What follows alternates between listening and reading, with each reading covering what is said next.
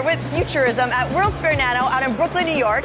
And today I'm going to be interviewing scientists working on artificial intelligence, searching for alien life, and a lot more, so definitely stay tuned. Uh, Tell me a little bit about the current issues that we have right now with uh, our farming. several big issues. One is population growth, another is urbanization, another is food waste. So you have a lot of consolidation of production where most food is produced in one part of the country or the world and then it's shipped to all these others. So this confluence of issues makes it daunting when you think of 50% more food by 2050. What exactly is vertical farming? The name says it all, right? Uh. So it's a, it's layer upon layer of food growth. So we grow at AeroFarms is no sun, no soil. And people say, how do you grow without sun or soil? Plants don't need sun, they need spectrum of light.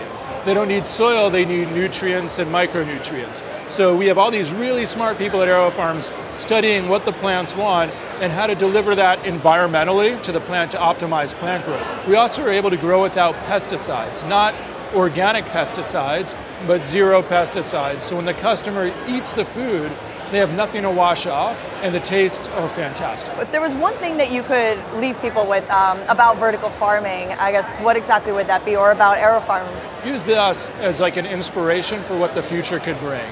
Because we need to embrace innovation. We have big problems to solve. We need a new paradigm of how we're going to feed our food. And vertical farming is illustrative of some of the innovation that could solve our problems.